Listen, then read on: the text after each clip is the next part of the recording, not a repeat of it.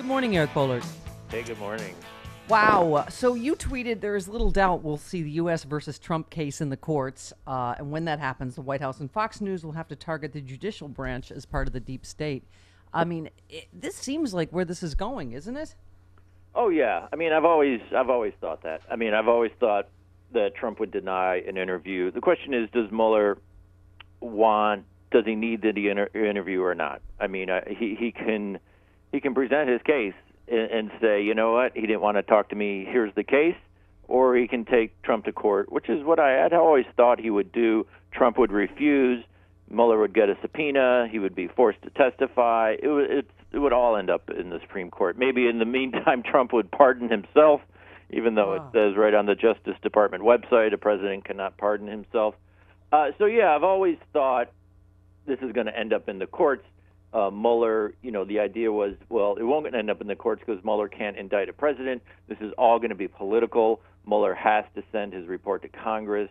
What what Republicans want to do politically, that is where this will be decided. It won't end up in the courts, but I think it will because Trump will refuse to testify, and or he'll just pardon himself. So it, I think it will end up. It'll be political, the way the Clinton impeachment was decided in Congress, but there's also going to be court cases.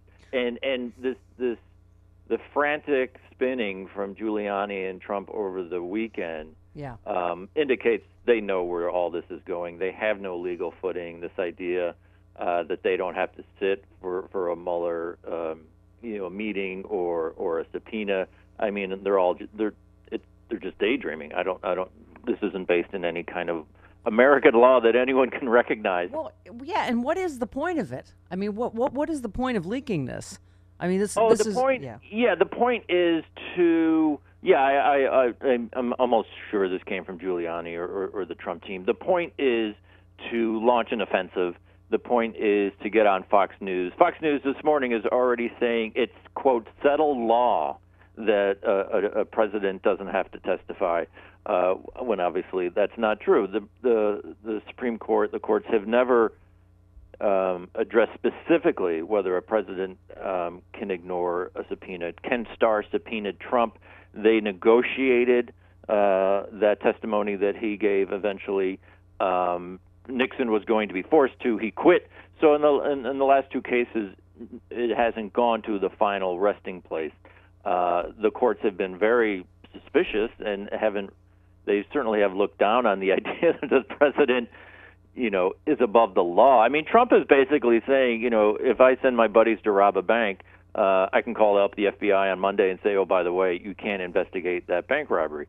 So I think they leaked it because they want to get this uh, offensive going, this PR campaign that, of course, the president is above the law. I mean, I guess that's where they're going. Well, you know, it's interesting. It's a lot of speculation. Uh, Brad Moss on Twitter said, I've had a few hours to think on it. I view this leak of the Trump me- legal memo as an indicator that something likely is coming in the next couple of days. This Camp David trick, trip looks even odder now, 10 days before the North Korea summit, and the president isn't in prep with the NSC. Um, yeah, i- instead, Giuliani's going insane. Uh, Trump's now going insane again on Twitter about all this. Um, I, we were speculating on if it's a Manafort uh, thing, if Manafort's flipping because he's obviously become a coffee boy already, right? Right, right, uh, right. Trump hasn't really mentioned uh, Manafort much, and all of a sudden, he, you know, he's suddenly interested in him. Um, but again, I mean, this idea that Trump was ever going to sit down with Mueller was a joke. That there was ever going to be a good faith effort to uh, pass along any information. And again, so it it's up to uh, you know we pretend we know what's going on with the Mueller investigation, and every time they come forward, we realize we really don't know what they're doing, and, and they're so far advanced. Uh, but it seems like the main issue is whether Mueller will uh, demand uh, attention from Trump, and, and it'll go to courts, or he'll just, you know, he thinks, you know, he'll have an overwhelming report he can release, and then he can say, oh, by the way, Trump wouldn't talk to me uh, and take it from there. But Yeah. uh, all of this was obvious from, you know, Yeah. last December and January when when we first started hearing that you know Mueller was trying to set some sort of boundaries to meet with Trump. The idea that Trump was ever going to do that was zero because he's a pathological liar. Yeah. Uh, well, and- Eric, I mean, it he's seems lied in depositions for years. Yeah, and it seems like you don't even have to be a lawyer to go, oh, well, this is yet another count of obstruction of justice. Um, as Brian Klaas tweeted this weekend, the President of the United States dictated a letter trying to cover up a meeting that his son, son in law, and campaign manager eagerly took, which offered high level sensitive information about his opponent as part of the Kremlin's support for him and then lied about it. I mean, do you need to be a lawyer? to- Right.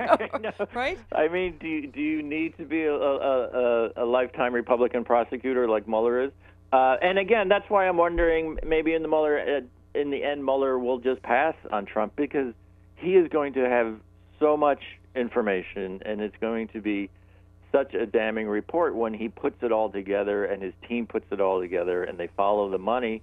And I think they're going to say, here, you know, here it is. If Trump doesn't want to answer questions, um, that that's his right. And and and here's this massive chronicling of the criminal enterprise that was the Trump campaign. Yeah. Uh, so you know, people, you know, there there doesn't seem to be much emphasis, particularly on the press, uh, in terms of the downside of Trump refusing to answer any of these questions. And the downside is, it is going to be an amazingly one-sided story uh, Yeah. by Tr- by Trump's own refusal uh, because he knows he would have to lie his way through it. So you know, I, uh, there, there seems to be this idea that Trump is being, you know, this whole narrative that he plays 3D chess and he's out in front of everyone else.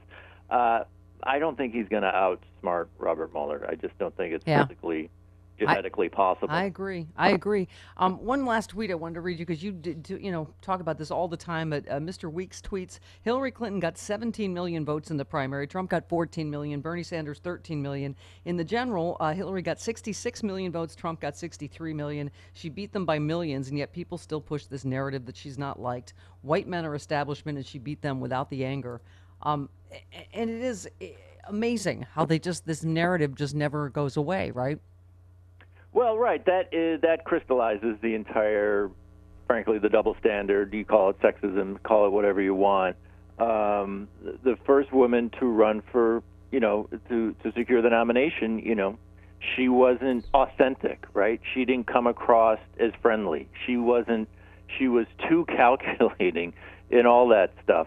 Um, the sad part is we're still, you know, we're still talking about that in 2018. There has been zero self-examination, and if there is another woman nominee in 2018 or 2020, uh, which you know there's a chance, uh, there's no indication that the that the press uh, and our sort of public um, dialogue has has learned anything.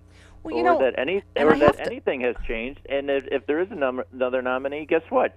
She's not going to be authentic. She's Yeah. not going to be trustworthy, et cetera, et cetera.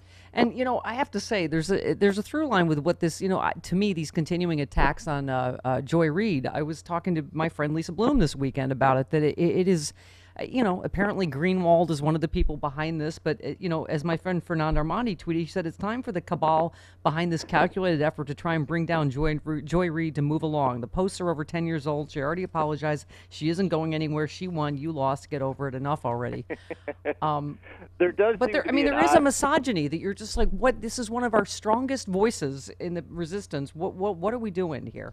Well, I think some people don't like her politics, and so they're they're uh, you know she's a uh, you know she was an adamant Hillary supporter, and and uh, and, and there, there does seem to be a fixation. I can't really think of another male pundit whose peop- who, whose whose ten year old archives of blog posts are going over with a fine tooth comb. Uh, it does seem to be a unique standard that she's facing, and again, it's ten years old. I don't care. I'm on her show all the time. I love her politics. I, I literally couldn't care Yeah. um, what she wrote 10 years ago. She has apologized for it. She's the one of the most important voices Yep. we have. Well, and that's why, you know. Yeah, Yeah. exactly. You, you become a target. Look, Yep. if, if, if, and if you're a woman, you become a, a, a particular kind of target. I mean, Well, it's and, and, it, and it is that's the way it works. Yeah, and it is particularly chilling right now, Eric, where we have, you know, uh, people just rooting to like end people's careers and take away their platforms, whether it's Sam Bee or Joy Reid or you know, and whereas like I think you and I would argue that it's a little. Bill O'Reilly took himself down. Roseanne took herself down. You know, I mean, this was Yeah, I mean, yeah, uh, it was interesting the last the last week. You know, the two targets were two women, you know, Joy Reid and, Right. and and Samantha Bee. You know, the Samantha Bee thing I think was you know wildly overblown. She lost a grand total of two advertisers, one of whom hasn't been on her show in two years. Right. Uh, you know, the the marketplace kind of spoke on that one, and the marketplace shrugged, and and Samantha Bee did the right thing, uh, and I think and addressed it very quickly. She doesn't have a te- five year history of of trolling in the in, in the gutter like Roseanne Barr did, Right. um, and and she, uh, but it was interesting that they both became targets. Yeah. Michelle Wolf was interesting. She said, that, you know, what she thought was, you know, uh, interesting is the why did Roseanne get a, a show again in the first place? The stuff Oh, has been yeah. out there for years, you know. Um, but anyway, you you know, so your piece, real quick before you go, U.S. allies lash out at Trump's stupid, counterproductive trade war. I mean, once again, we're forced to ask: Is he a Russian agent truly, or is he just blindingly uh, incompetent? Because you said Trump's bizarre decision to further wage war with some of the U.S. closest allies, Canada, has left our longtime partners stunned and angry. Meanwhile, America's real trade foes, ch- such as China, stand poised to benefit from Trump's reckless policies. Um, you said the Trump administration rolling out the tariff under the banner of national security, which Trudeau openly m- uh, mocked. Um, yeah, what, what what what is happening? Is is it just more self interest for you know Ivanka's trademarks or whatever that he just uh, uh, You know, the, yeah, I mean the tariff is, and and and I didn't get have a chance to get into that, but yeah, Russia obviously is one of the beneficiaries of all this because the, because who's who's the EU going to turn to now? The, one of the people they're going to turn to is, is Russia, but the tariffs really is, and you know everything kind of gets washed over and and you know lost in the shuffle, and that's exactly the way he wants it. But I mean, you can't find five authentic uh, objective people who support this. I mean, the re- Yeah. even Republicans. You know, Mitch McConnell saying today it's going to hurt Kentucky.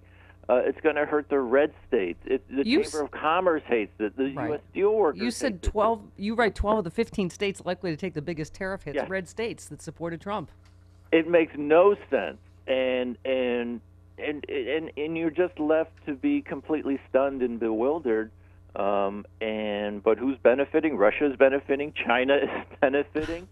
Uh, and and again, but you know, if you look back last week, tariffs was probably the seventh or eighth most important or shocking story, and it's just it's Yeah. you know, Yeah. we all shrug after a while. We, we, no one knows what to do. But that, on a pure policy level, is fascinating. Yep. Because the literally the only people it's hurting, or it, it- initially it's going to hurt everybody. Initially, the people it's going to hurt the most are clearly Republicans and and people in red states. And you and you just look at it and you're like, what are we doing? Yeah, I know. I know. Eh, strange times we find ourselves in. Thank you, Eric. See you next week, sir. Okay, good luck. All right. Thank, thank The way he says that always really feels like it may be the last time. Good luck. Buckle talks up. We may me. not be here. Yeah. Like he's not going to help in any way, but just good luck. Good luck.